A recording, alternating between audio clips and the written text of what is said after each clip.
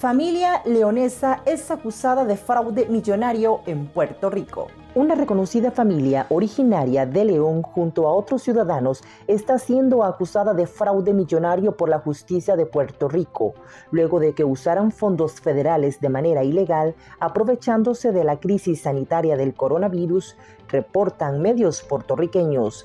Se trata de Manfred Penske Lemus, quien supuestamente es el cabecilla del plan fraudulento para obtener préstamos con subsidio federal y realizar los esfuerzos para lavar las ganancias.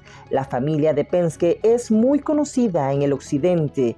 En su linaje hay un reconocido cardiólogo, un trabajador de la alcaldía de León y un gerente de proyectos de energías renovables. Los cuatro parientes se apropiaron de 1.400.000 dólares. Según la acusación, otros presuntos cómplices habrían obtenido más de 20 mil dólares cada uno.